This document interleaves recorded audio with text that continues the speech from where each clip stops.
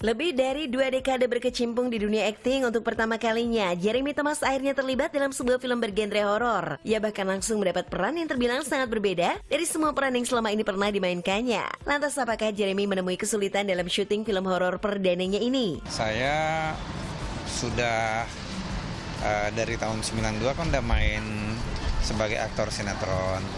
Saya ingin sekali eh, bisa kembali lagi eh, tapi di layar lebar dengan kualitas film yang baik sehingga eh, penonton yang sudah lama ingin melihat saya berakting kembali eh, bisa melihat eh, hasil karya akting saya di film yang betul-betul digarap dengan baik.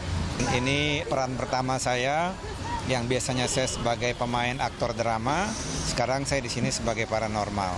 Kalau dibilang susah enggak, karena saya kan eh, dari tahun 92 udah baca skenario. Jadi bagi saya adalah yang penting bagaimana deskripsi cerita itu saya pahami dengan baik. Logika-logika dari eh, dialog atau logika-logika dari body language itu yang saya pahami. Uh, dan kebetulan paranormal di sini berbeda dari paranormal yang ada sebelum-sebelumnya karena paranormalnya deskripsi fisiknya adalah seperti ini.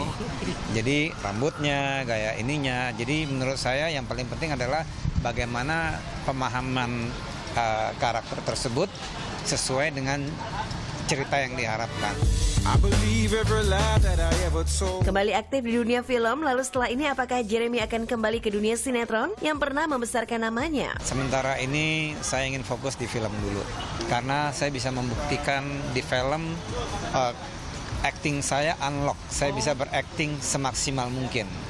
Di sinetron saya terkunci hanya dengan peran gitu aja dan is a series.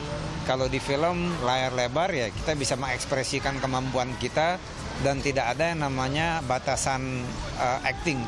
Anda harus bisa acting semaksimal mungkin. Well,